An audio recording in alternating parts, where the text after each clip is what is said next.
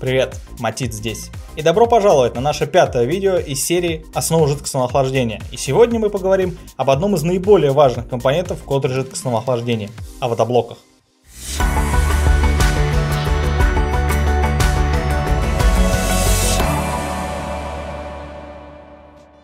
Водоблоки – это теплообменники, которые отдают тепло жидкости, которая передает его от своего источника к радиатору.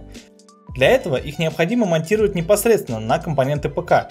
Наиболее популярными водоблоками являются блоки для процессоров и видеокарт, поскольку эти важнейшие компоненты выделяют больше всего тепла. Многие пользователи также выбирают водоблоки, которые охлаждают RAM, SSD и различные области материнской платы. Существуют также водоблоки, которые охлаждают как процессор, так и материнскую плату. Мы можем разделить моноблоки на несколько категорий, но общий термин моноблок обычно относят только к водоблокам, которые охлаждают процессор и секцию подачи питания VRM на материнской плате.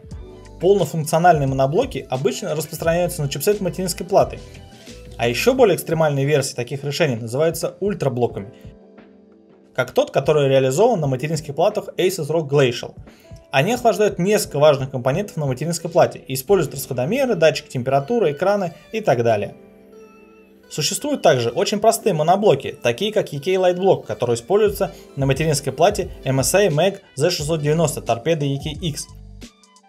Чтобы узнать больше об этих двух типах решений для материнских плат, перейдите по ссылкам в описании видео.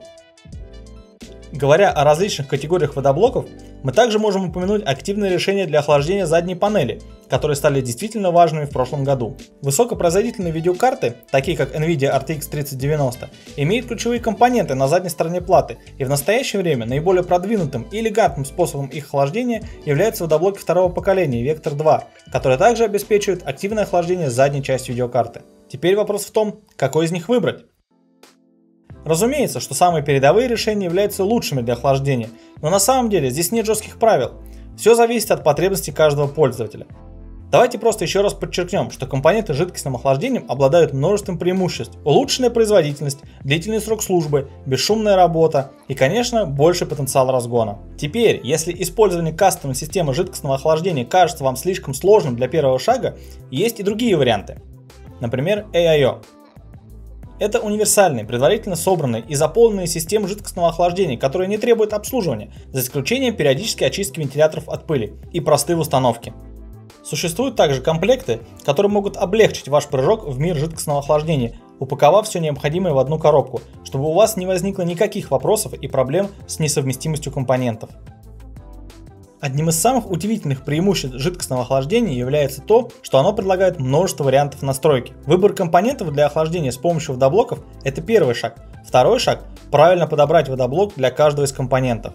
Как правило, водоблоки изготавливаются для конкретной серии процессоров, видеокарт, материнских плат или других компонентов. Этот водоблок GPU, например, создан для установки на видеокарты на базе NVIDIA GeForce RTX Ampere эталонного дизайна и таких видеокарт, как RTX 3080, 3080 Ti и 3090. Пользователи могут и должны всегда проверять, какой водоблок совместим с оборудованием их ПК с помощью конфигуратора EK, обширной базы данных совместимости, которая обновляется ежедневно. И как только у вас будет подходящий водоблок для вашего ПК, вы также сможете выбрать, какой материал или отделку вы хотите и какая линейка водоблоков вам подходит. Почти все основания водоблоков изготовлены из меди, которая имеет характерный красно-коричневый цвет. Большинство водоблоков затем покрывается тонким слоем никеля, чтобы получить привлекательный серебристый цвет. Существуют ли какие-либо различия в производительности между медными и никелированными водоблоками? Нет. Но наши пользователи выбирают никелированные блоки за их эстетичность и дополнительную защиту от коррозии, которую они обеспечивают. Теперь перейдем ко второй части водоблока – верхней. Опять же, между материалами нет никаких различий в производительности. Пользователи выбирают ацеталь или плексиглаз, исходя из эстетики и обслуживания. Плекс, как мы его сокращенно называем, представляет собой прозрачное акриловое стекло и таким образом позволяет осмотреть внутренние части, а также показывает охлаждающую жидкость для дополнительной эстетики. С другой стороны, ацеталь, также известный как POM, обладает более высокой химической устойчивостью и более высокой ударной стойкостью. И если вы планируете быть грубым со своим водоблоком, ацеталь – лучший выбор. Здесь в EK мы предлагаем различные линейки водоблоков на любой вкус. Например, когда дело доходит до процессорных блоков, наши пользователи могут выбирать между проверенным бестселлером Velocity или нашим флагманским водоблоком линейки Magnitude. Если вы один из тех людей, что любит жить в моменте, тогда просто используйте моментум, чтобы охлаждать не только процессор, но и материнскую плату. Есть много вариантов. Мы остановимся здесь в этом видео, но не забудьте вернуться к следующему, где мы обсудим, как правильно ухаживать за вашими водоблоками, чтобы получить максимум отдачи. Спасибо, что посмотрели, если вам нравится такой контент, обязательно подпишитесь. До следующего раза.